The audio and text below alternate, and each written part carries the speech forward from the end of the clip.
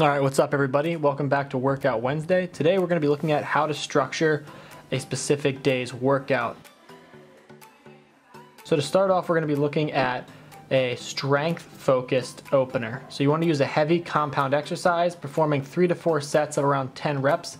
This is gonna be on a day that's more hypertrophy based and strength based, but we still wanna use movements that we can overload and progressive or progressively overload. So here we're doing sumo deadlifts for a back day to open up.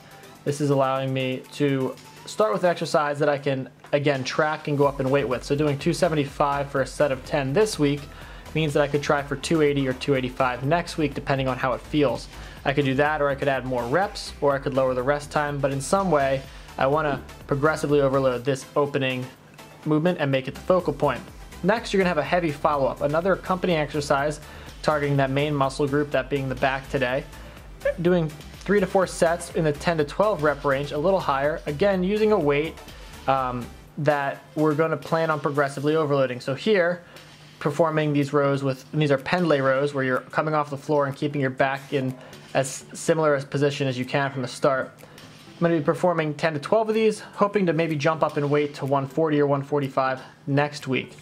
After you've performed these opening heavier focused exercises, we're going to move into an isolation movement. And there can be two to three, you know, you can do one, two, even three of these for the back.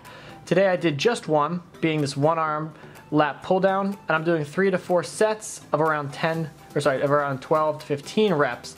Um, this is allowing me to really focus not on the weight at all here. I want to use a weight that's tough and it causes me to struggle, but I'm focusing more on keeping the rest low and keeping the muscle under tension the whole time. And I adjust the weight to allow me to meet the rest time and the time under tension time instead of the other way around.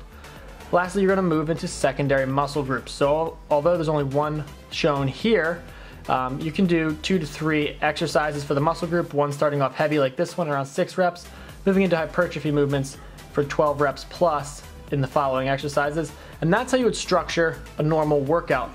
I hope you guys liked this. If you did, leave the video a like, comment down below what you'd want to see more of. Be sure to subscribe for more. I will see you guys in tomorrow's video. Peace.